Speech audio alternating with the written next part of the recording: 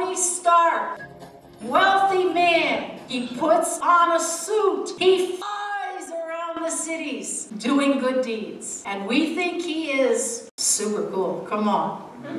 I know young kids, they got the mask out now that it really opens and closes.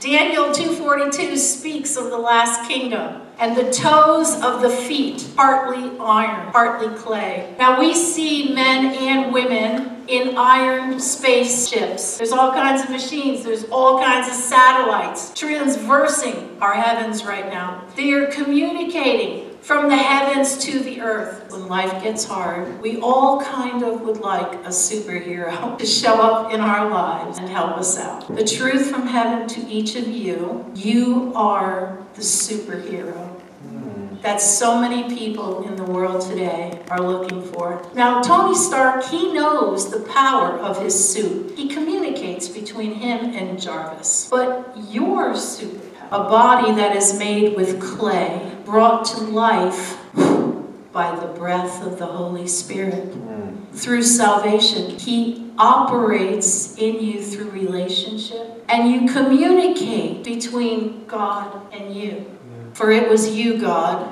who created my inward parts. You knit me together in my mother's womb. And I will praise you because I have been fearfully and wonderfully made.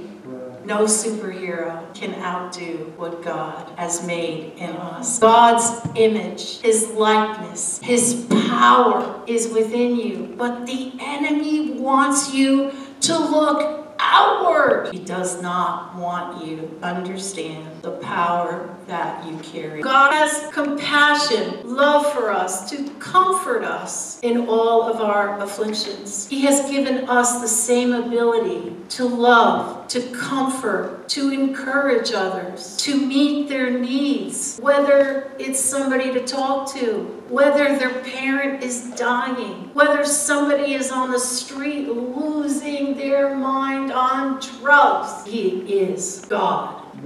So I want you to say with me, I am a superhero. Superhero. Did you enjoy that?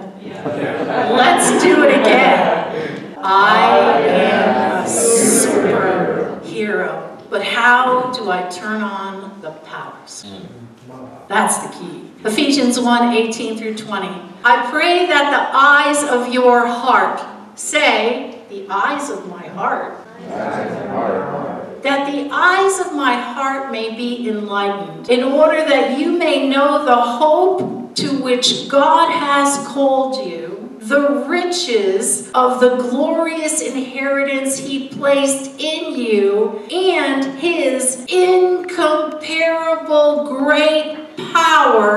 for those who believe. Now, God's power, the Holy Spirit, will turn on the eyes of your heart to listen. To listen. Did you hear me? 1 Kings 3 9, God says this. This is what I want. Give me a God listening heart. Did you know that your heart has ears? You can hear what the Spirit of the Lord is saying through the eyes and the ears of your heart. And Jesus did not only come to save, but to destroy the works of the evil one. We are superheroes every time we tell someone about the good news of Jesus Christ because we carry peace. We don't have to look out there for Flash Gordon.